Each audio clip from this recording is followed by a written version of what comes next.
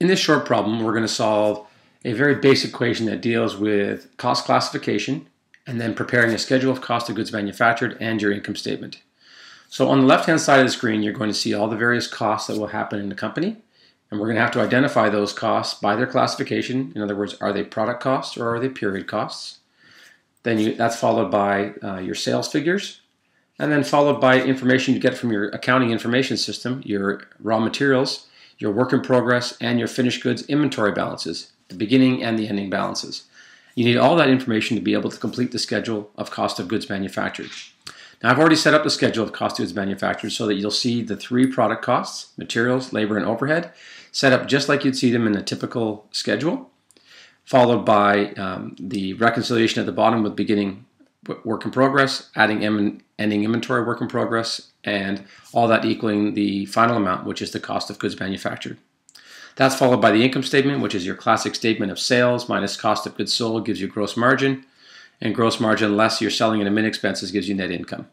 So let's walk through and solve this. The first thing we have to take a look at is the cost on the top left-hand corner. And we need to identify each of those as either product costs, and if it's a product cost, is it materials, labor, or overhead?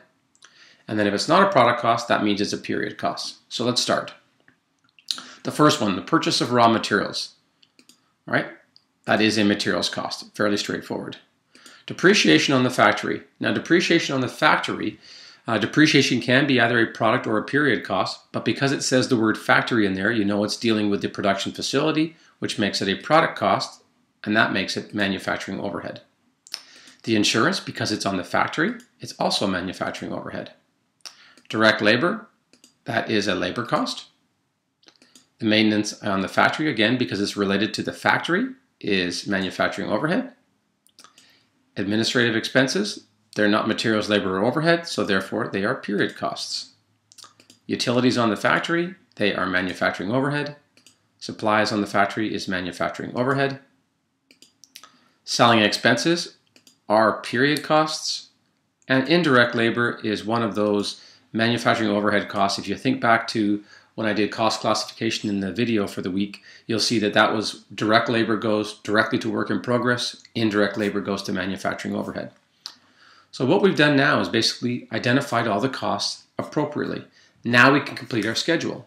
So the first section is the materials section, and that begins with beginning inventory for materials. We add our purchases, subtract ending inventory, and that gives us the cost of materials used in production.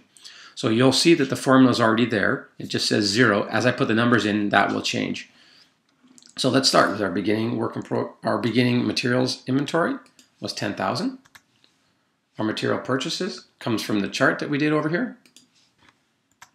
And our ending inventory comes back down here from the ending balance in inventory. So that tells us that the cost of materials used in production was $83,000. Next one is direct labor. That's one of the costs that was identified over here.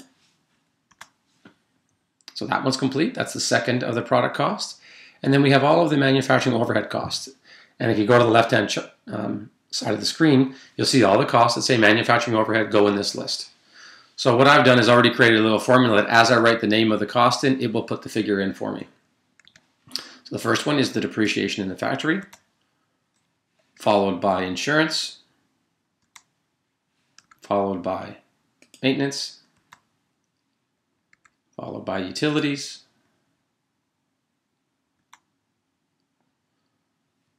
followed by supplies, and last one is indirect labor. So we have a total of $170,000 worth of um, overhead costs. Those are the actual costs. So if we add those three product costs up of materials of 83,000, labor of 60, and manufacturing overhead of 170, our cost of production were 313,000. We're not done though. That's the cost that we added to production. We have to add to that the beginning inventory for the period for work in progress. And then we're going to subtract from that the ending inventory for work in progress. And that tells us that our cost of goods manufactured was $290,000. That schedule is now complete. Now you can move on to the income statement. First thing we start is with sales. We get that from the information given. And then the cost of goods sold. It's the classic inventory equation of beginning inventory plus, in this case here, cost of goods manufactured minus the ending inventory of finished goods gives you your cost of goods sold. So we start with the beginning inventory.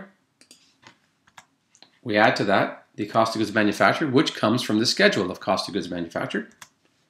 Subtract from that the ending inventory for finished goods. Tells us the cost of goods sold was 260,000. If sales were 450,000, cost of goods was 260. That means the gross margin was 190. And all that's left are the administrative expenses, and we have two of them. The first one we have is the administrative expense, and the second one is the selling expense. And you'll see those total 150, which leaves us with a net income of $140,000. And that, folks, is how you'll solve both preparing a schedule of cost of goods manufactured and an income statement. The key thing in all of this is the very first part where we identified whether something was a product cost or a period cost. Once you can do that, it's just a matter of organizing the material and understanding what goes on each of the schedules.